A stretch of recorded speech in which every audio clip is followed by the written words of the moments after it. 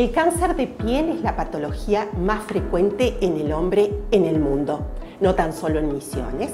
En Misiones confluyen los principales factores de riesgo. Piel clara, ojos claros, trabajadores rurales al aire libre, deportistas al aire libre, el clima, tenemos acá sol todo el año. Entonces, desde el año 2017, desde el Servicio de Dermatología, hemos impulsado la campaña provincial de cáncer de piel todo el mes de noviembre es nuestro mes.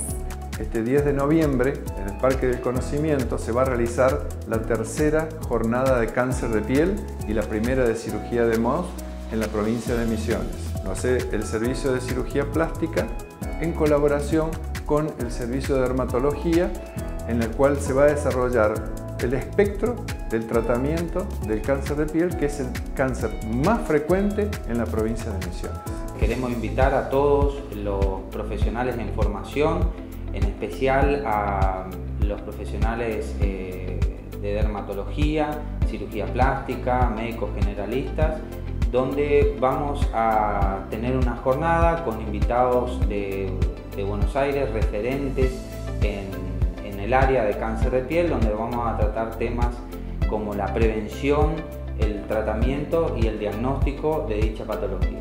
Queremos destacar la calidad de los disertantes, que son todos miembros referentes en la República, en el área de que van a hablar. Van a estar el doctor Abel González, el doctor Eduardo Rodríguez, la doctora Cobalzuc, el doctor Marini la doctora Piedrabuena. Son todos referentes en cada área y es muy importante para todos los miembros de formación, como decía mi colega. Eh, así que están todos invitados para el 10 de noviembre, va a comenzar a las 8 y media de la mañana en el Centro de Conocimiento.